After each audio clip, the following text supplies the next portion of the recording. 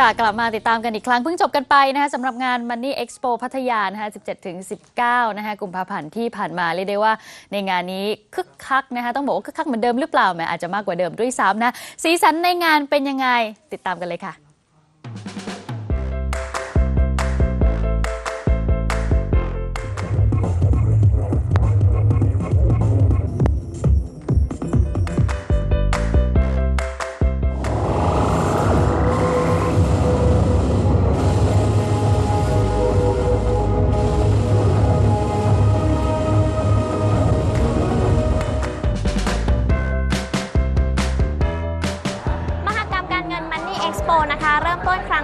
ปีนี้กันที่พัทยาค่ะ ซึ่งถือว่าเป็นแหล่งรวมเศรษฐกิจที่สำคัญของภาคตะวันออกค่ะ เรามาในธีมของปีนี้นะคะ Financial Innovation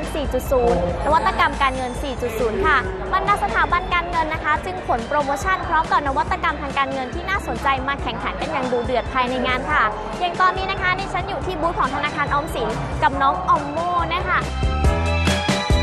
น้องออมโมนะคะเป็นพนักงานต้อนรับที่เราสามารถคุยกับเครื่องได้เลยนะคะ อย่างเช่นถ้าเราจะฝากถอนโอนจ่ายกดไปตรงนี้ค่ะเชิญเข้าใช้บริการเลยกับเบิร์นครับ เป็นเสมือนเครื่องจองคิวนะคะ แล้วก็ถ้าเกิดเราอยากคุยกับพนักงานค่ะ กดไปที่วิดีโอคอลค่ะ สวัสดีค่ะ อยากจะเปิดบัญชี สลากออมทรัพย์ค่ะ เรียบร้อยค่ะแค่นี้นะคะ เราก็เข้าไป รอคิวด้านในได้เลยค่ะ หากมีลูกค้าท่านอื่นกรุณารอสักครู่ครับ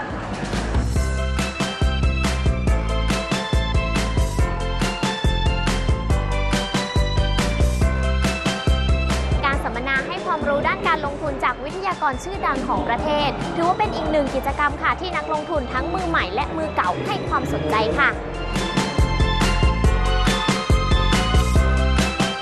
ริงๆ แล้วนักลงทุนเนี่ยก็ให้ความสนใจแล้วก็มีคำถามที่จริง ๆ แล้วเป็นช็อตเด็ดๆหลายครับหลายคำถามนะฮะก็จริงๆแล้วก็เป็นเป็นเรื่องที่ดีนะครับว่าการลงทุนหรือความสนใจในการลงทุนเนี่ยซึ่งเป็นสิ่งสำคัญในการวางแผนชีวิตด้วยนะฮะเริ่มกระจายตัวไปในออนอกเหนือจากกรุงเทพมหานคร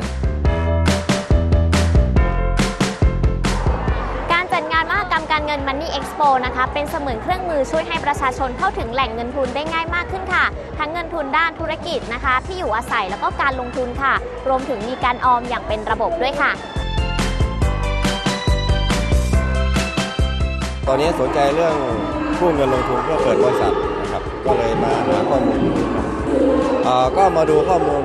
จากหลาย ๆ ที่ครับก็มีข้อมูลน่าสนใจเยอะครับก็มาถามถามดู Uh, we're coming here to uh, get some information on loans from different banks. So we're going to come and see what they've got to offer. อีกหนึ่งไฮไลท์ของงานมหกรรมการเงิน Money Expo พัทยา 2017 ที่ได้รับความสนใจมากเป็นอันดับต้นๆ ค่ะ นั่นก็คือการประมูลทอง ราคาตั้งต้นต่ำกว่าท้องตลาด บิดในการประมูลแต่ละครั้งขั้นต่ำ 50 บาท ซึ่งกว่าจะมีผู้ชนะแต่ละครั้งนะคะ ประมูลกันน่าตื่นเต้นทีเดียวค่ะ โอ้ยมีมีพี่คนหนึ่งเขาเก่งอะเขาขึ้นเร็วใจมากเขาใจอะหมื่นสี่ร้อยกว่าบาท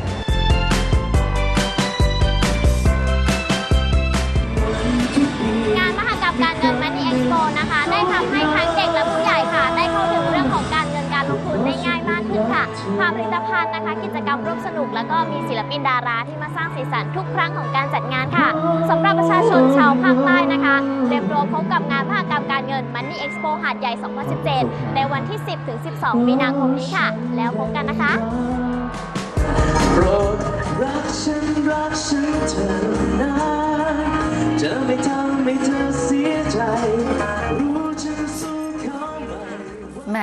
เพลิดเพลินกันเลยทีเดียวในงานค่ะมีสีสันมากมายให้ผู้ชมได้ติดตามนะคะเราก็จะทยอยเวียนไปเรื่อย ๆ ตาม ภาคต่างๆนะคะของประเทศไทยนั่นเอง